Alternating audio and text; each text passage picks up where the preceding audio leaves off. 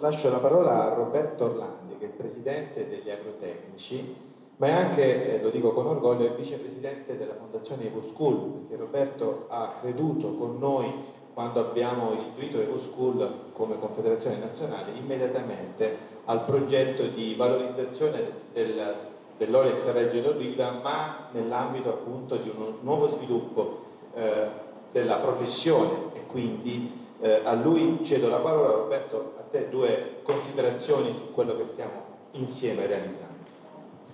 Grazie, buongiorno a tutti. Sì, noi quando è nato il School abbiamo scelto di partecipare. Questo rientra nelle policy che mettiamo in atto come albo professionale. Relativamente all'olio, la nostra ambizione è fare sull'olio quello che è avvenuto nel settore enologico. Oggi uno dei settori più forti del Made in Italy è il vino, è un settore fortemente esportatore e fortemente produttore di reddito per gli imprenditori, più o meno nel mercato, ma è quello che meglio. E tutto questo è nato, chi è più, più anziano di età come me ricorderà, dalla crisi del metanolo, quando sembrava che il settore eh, vitivinicolo dovesse chiudere, invece gli imprenditori hanno investito e si è creato uno storytelling sul vino. Lo abbiamo un po' mutuato al terroir dei francesi, Ecco, però, mentre oggi è normale trovare al ristorante la carta dei multivini, è assai più raro, direi forse quasi impossibile, trovare una carta degli oli. E noi dobbiamo lavorare su quello, perché gli oli prodotti in Italia hanno delle caratteristiche organolettiche tali da farli ritenere, qualcuno li ritiene un superfood. Quindi noi dobbiamo valorizzare quello, cioè noi dobbiamo valorizzare quello che non è replicabile al di fuori dall'Italia. Se vogliamo pensare di creare lavoro e ricchezza nel Paese. Questo per dire la nostra posizione rispetto al settore agricolo. Ora, invece sull'ITS, anch'io non posso dire che ogni bene. Non lo dico perché stiamo presentando l'ITS del settore, lo dico perché quando nacquero noi ci credemmo subito, tanto da riconoscere autonomamente il semestre o più di attività pratiche di stage che ricordava la coordinatrice, di riconoscerlo come tirocinio valido per l'iscrizione all'albo, per iscriversi al nostro albo occorre avere un diploma, una laurea in agrario, in scienze naturali, in biotecnologia, insomma, vari, vari settori, da 6 a 18 mesi di tirocinio pratico. Noi abbiamo immediatamente riconosciuto quei tirocini, senza che la legge lo prevedesse, era una scelta nostra autonoma. Poi attualmente un'ultima riforma ha obbligato tutti a riconoscerli, quindi oggi un ordine professionale non, può, non potrebbe disconoscere quel tirocinio perché la legge dice che quello vale per l'iscrizione dove è previsto per l'iscrizione agli altri.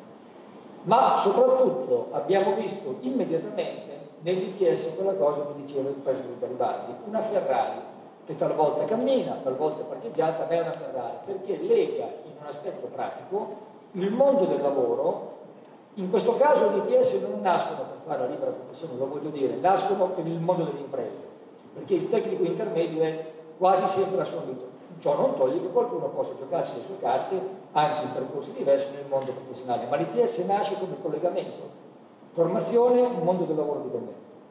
Ma uno dice, ma allora cosa c'entra l'albo? Ma noi viviamo in questo paese, noi abbiamo piacere che il paese vada bene, abbiamo piacere di avere un paese forte, una manifattura forte, quindi la nostra collaborazione si estende anche a quello che non dovrebbe essere il nostro core business.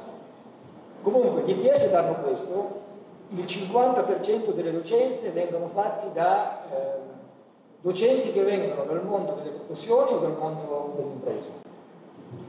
Quello che mi ha fatto estremamente piacere è vedere che il nostro Premier Mario Draghi ha subito, che ha un'impronta fortemente europea, ha subito creduto nell'ITS, tant'è che in questi giorni in Parlamento è in discussione una riforma che aumenta di credo 10 volte, porta a un miliardo di euro di finanziamenti per l'ITS.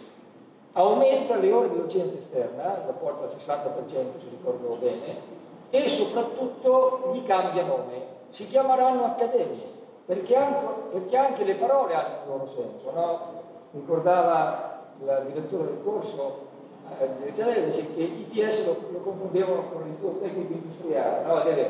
mentre Accademia abbiamo sempre difeso l'ITS, siamo soci fondatori in vari ITS agrari in Italia, anzi do la mia disponibilità come, eh, qui c'è il presidente dell'ordine della, della, nostro del Lazio, di, se, se l'ITS ha piacere di entrare come soci nell'ITS e dare così un nostro maggior contributo, a prescindere da questo noi collaboreremo con la nostra rete, con le nostre banche dati per veicolare a tutto l'indirizzario che abbiamo l'esistenza del DTS perché è bene che parta con un numero di studenti però selezionato, un conto è scegliere su 40 persone che vengono, un conto è scegliere su 400 candidati dove ti porta a casa il milione.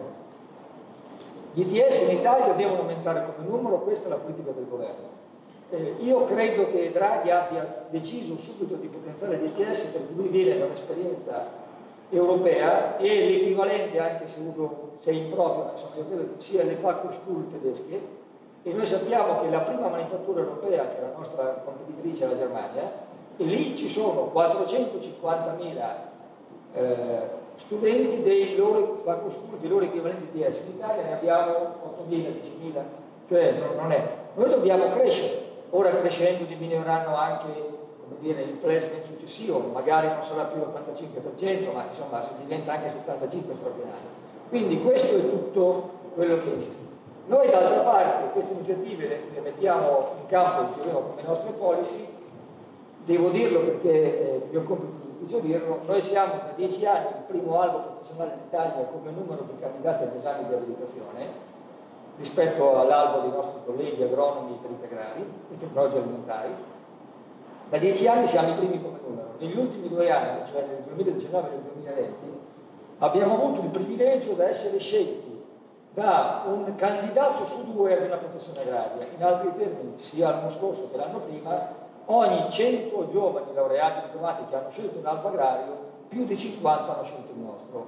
E contemporaneamente, lo vediamo nei numeri delle partite IVA che vengono aperte, quindi da chi avvia l'attività professionale, noi negli ultimi nove anni il dato medio del nostro incremento di partite IVA aperte, tolte quelle chiuse, quindi il saldo netto fra chi ha cessato l'attività che ad esempio chi l'ha aperta per la prima volta, noi chiudiamo con un saldo netto del 6,50% all'anno, cioè noi siamo cresciuti come professionisti del 6,50% per nove anni tutti gli anni. In Italia non c'è nessun'altra categoria, in nessun altro settore economico che ha, che ha saputo fare noi. Questo è perché abbiamo una serie di collaborazioni aperte come quella che c'è. Vogliamo dare il nostro contributo, dicevo, nel settore dell'olio, daremo tutto il nostro contributo perché ci sia un'affluenza importante di giovani che si iscrivono all'ITS anche per avere una continuità di studi nel tempo perché eh, diciamo, questa è una filiera che deve essere molto alimentata.